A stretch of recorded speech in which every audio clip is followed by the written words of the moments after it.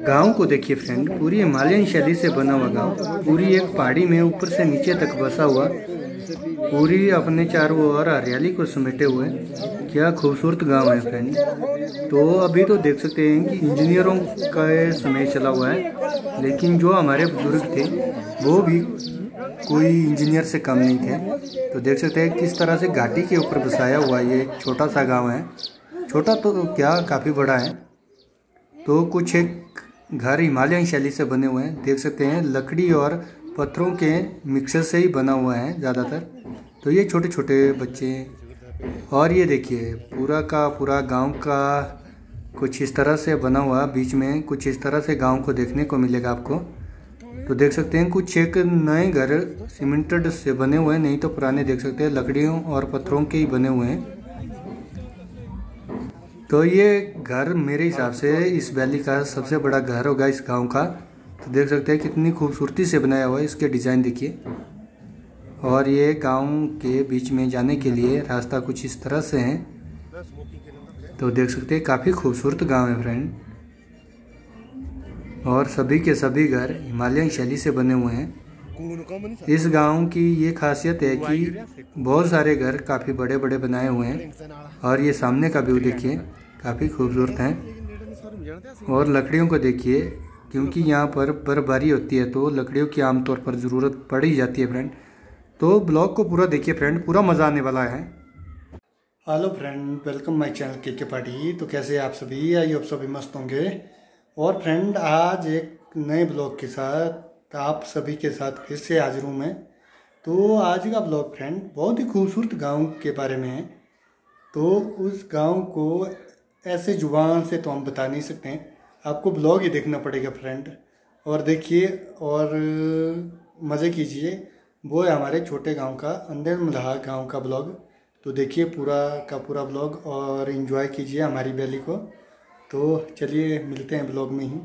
खूबसूरती देखिए फ्रेंड पूरी तरह से अपन प्रकृति की गोद में बसा हुआ गाँव है। तो बेसिकली फ्रेंड ये अंदिल मिला गाँव है और मेरे घर से अंदिल मिला जाने के लिए दो रास्ते जाते हैं। एक माता फुंगनी केसौ से होते हुए, एक लोहाड़ी बाज़ार से होते हुए। तो ये गाँव के लिए जाने के लिए तो देख सकते हैं। ये फूलों को देखिए फ्रेंड कई प्रकार के रास्ते में चलते हुए आज मैं माता फुंगनी के सह से जाते हुए आपको बताऊँगा। तो देख सकते हैं, कई प्रकार के फूल लगे हुए हैं हिमालय में आजकल। तो क्योंकि संजीवनी बूटी यहीं मिली थी, कहा जाता है तो अगर जानते होंगे आप इन फूलों को तो इन्हीं में ही संजीवनी और इन्हीं में ही विष है। तो देख सकते हैं, क्या खूबसूरत खूबसूरत फूल लगे हुए हैं, जो कि हमें प्रकृति ने सब कुछ संजो के दिया हुआ है। बस अब हमें तो सिर्फ़ संभालना है इन्हें।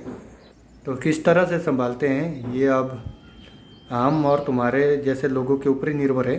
कई प्रकार के अलग अलग प्रकार के फूल मिले मुझे रास्ते में जाते जाते तो सोचा क्यों ना आप सभी को भी दिखाते हुए चलूँ। से मैं नज़दीक पहुँच रहा हूँ। तो ये देखिए मैं थोड़ा नीचे पहुँचने के बाद गाँव का सामने का नज़ारा। जिस तरह से तो बसा हुआ मैंने कहा था फ्रेंड एक गाँव है बहुत ही प्यारा। एक पहाड़ी पे बसा हुआ है। फूलों को देखिए क्या अलग अलग प्रकार के। तो ये मैं चला हुआ हूँ। देख सकते हैं, रास्ता का काफ़ी उबड़ बड़ा है। ये देखिए रास्ता, आसान नहीं है नीचे उतरना।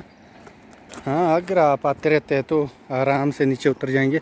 और ये बड़े बड़े अखरोट के पेड़ ये देखिए, काफ़ी बड़े बड़े हैं। पूरे पूरे ये कनूर और अखरोट के ही पूरे के पूरे पेड़ लगे हुए हैं, जितने बड़े बड़े आपको दिखाई दे रहे हैं। ये लाइट ऊपर माता फूमनी के साथ तक जाती है, देख सकते हैं। गाँव का हिस्सा। कितना हरा भरा रास्ता है देख सकते हैं। और उस रास्ते में चला हुआ मैं, ये देख सकते हैं, काफ़ी पसीना पसीना हो रखा है, क्योंकि उमस बड़ी गर्मी है, और तलियाने के फल लगे हुए देख सकते हैं थोड़े थोड़े लाल हुए हैं। जब भी आप पहाड़ों में ऐसे जाएँगे तो कुछ ना कुछ आप, अगर आप जानते हैं तो खाने पीने की चीज़ें आपको भरपूर मिल जाएगी। बट पहचान होनी चाहिए उस चीज़ की। अगर आप पहाड़ी है तो इस पेड़ को तो जानते ही हो गए ये है जामुन का पेड़ जामुन लगे हुए हैं, देख सकते हैं छोटे छोटे अभी हरे हैं। तो कुछ टाइम के बाद, ये पकने के बाद थोड़े काले काले से दिखाई देंगे। तो और इन्हें खाने का अपना ही कुछ अलग मज़ा है। हमारी गोभी देखी होगी फ्रेंड तो काफ़ी बड़ी हो चुकी है। यहाँ पर अभी तक गोभी लगाई जा रही है। और ये गाँव को देखिए आप, क्या हरा भरा और खूबसूरत गाँव। और बड़े बड़े मराड़ के पेड़ लगे हुए सामने। और ये राजमा की फ़सल देखिए क्या खूबसूरत फ़सल लगी हुई है राजमा की। देखिए छोटे छोटे तो अभी तक छोटी छोटी है। गोभी गोभी गोभी और ये गोभी सब्ज़ियाँ क्योंकि सभी तरफ़ गोभी का ही सीज़न चला हुआ है। और यहीं से ही ऊपर पहुँचेंगे हम गाँव के लिए। इसी पुल से जाना है हमने ऊपर। और यहाँ से तो ऊपर। और ये नदी। इस पत्थरों ने देखिए कितनी बड़े पत्थर को संभाल के रखा है। इन दो पत्थरों ने। ये स्पोर्ट देखिए कैसे लगा ये पुल के लिए, ताकि गिर ना जाए। और ये रास्ता यहीं से ही हमने जाना है आगे। और ये नदी देखिए, लंबा टक नदी की सहायक नदी, अंदरली मल्हा नदी। ये पुल। तो देख सकते हैं फ्रेंड अभी हम गाँव में पहुँच चुके हैं और ये गोभी की फ़सल लगाई हुई है। और शुरुआत में ही घर कुछ इस तरह से देखने को मिलेंगे। और ये देख सकते हैं चादरें लगाई हुई है मैक्सिमम सभी ने। क्योंकि बर्फ़ पड़ता है तो वो छतों के ऊपर ना टिके ताकि घर टूटे ना। इसलिए आसानी से बर्फ़ नीचे गिर जाए। देख सकते हैं ढलानदार छतें। और ये सामने स्कूल, प्राइमरी स्कूल, गाँव अंतली मिलाकर देख सकते हैं। और उसके ऊपर कुछ घर। काफ़ी खूबसूरत है। तो ये यहाँ से सामने से ऊपर देखने में कुछ इस तरह का नज़ारा दिखाई देता है, जो कि दिल को मोह लेने वाला नज़ारा है फ्रेंड। और बीच में हरे भरे पेड़ आमतौर पर गाँव के बीच में देखने को मिल जाएँगे आपको।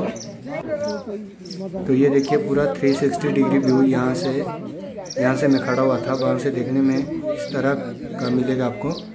आधा गाँव मेरे से नीचे है फ्रेंड तो देख सकते हैं। काफ़ी खूबसूरत गाँव और आधा मेरे ऊपर। ये देखिए, ज़्यादा गाँव मेरे ऊपर ही है। तो ये देखिए, काफ़ी खूबसूरत है। और ये घर जहाँ पर मैं बैठा हुआ हूँ अभी।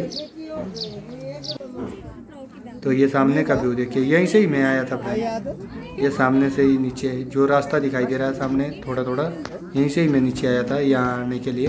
यहाँ ऊपर मारा, माता पुंगनी का सा है, यहीं से ही ये देखिए ये दिखाने की कोशिश कर रहा हूँ, यहीं ऊपर माता पुंगनी का सा है, यहीं से ही हम नीचे आए हैं।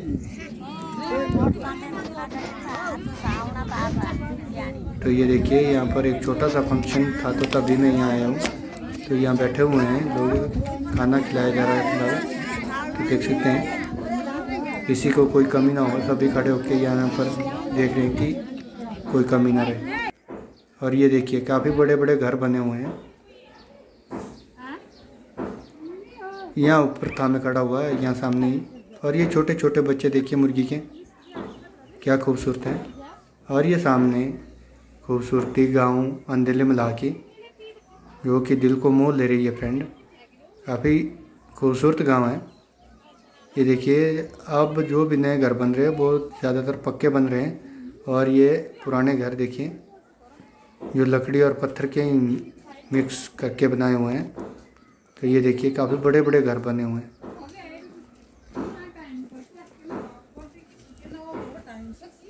हमारे पहाड़ी घरों की एक बात है कि घर के आगे छोटा सा आँगन ज़रूर होगा। तो देख सकते हैं यहाँ पर कितना बड़ा घर है और छोटे छोटे बच्चे ऊपर से खेलते हुए आ रहे हैं। अभी मैं सड़क में पहुँच चुका हूँ तो देख सकते हैं। और ये सेब के कितने बड़े बड़े पेड़ और ये घरों को देखिए। और ये रहा गाँव ऊपर। अभी मैं सबसे निचले वाले घर में पहुँच चुका हूँ। तो यहीं से नीचे सड़क से होते हुए मैंने घर जाना है अभी। और ये सेब के पेड़ देखिए फ्रेंड, काफ़ी बड़े बड़े लगे हुए हैं। व्यू काफ़ी खूबसूरत है इस गाँव का। कभी आए आप भी तो बताना और किस किस का गाँव है ये फ्रेंड कमेंट बॉक्स में ज़रूर बताएँ। तो देख सकते हैं काफ़ी खूबसूरती से भरा हुआ ये गाँव। और ये देखिए, नीचे से कुछ इस तरह का व्यू आ रहा था तो कितना खूबसूरत दिखाई दे रहा है।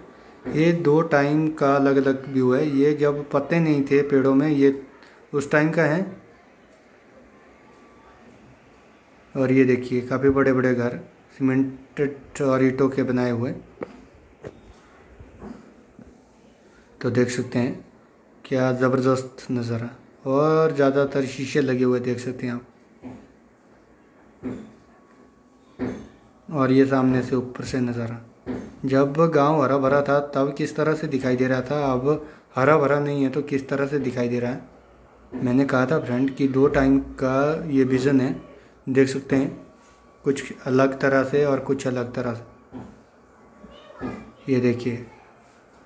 हरियाली तो हरियाली होती है फ्रेंड जब पत्ते नहीं रहते हैं तो कुछ उजड़ा उजड़ा सा ही दिखाई देता है। जो देखने में ज़्यादा अच्छा नहीं लगता है। तो देख सकते हैं, काफ़ी ज़बरदस्त व्यू आ रहा था। तो सोचा क्यों ना दिखाऊँ। कैसे? जैसे कि देख सकते हैं, घास को चुरा के ले गए हैं। वैसा दिखाई दे रहा है यहाँ से तो। और हाँ फ्रेंड और वीडियो की तरह ज़्यादा से ज़्यादा इस वीडियो को भी प्यार दें। ये मेरे कुल देवता नारायण जी को देख सकते हैं, खड़ीमला। खड़ीमला का गाँव देखने में कुछ इस तरह से दिखाई दे रहा था यहाँ से। इस गाँव की आपको एक खास बात देखने को मिली होगी फ्रेंड क्योंकि हर घर में शीशे लगे हुए तो देख सकते हैं, कोई भी घर ऐसा नहीं है जहाँ की खिड़कियों में शीशे न लगे हुए इस गाँव की यही खास बात लगी मुझे। इस घर को भी देखिए, इसमें छोटे छोटे शीशे लगे हैं। पुरानी हवेली है ये, ज़बरदस्त डिज़ाइन के साथ। और ये रास्ता देखिए। पूरा सीमेंटेड रास्ता है। ये दूसरी साइड से आएँगे तो यहाँ से ये फ्रंट है गाँव का।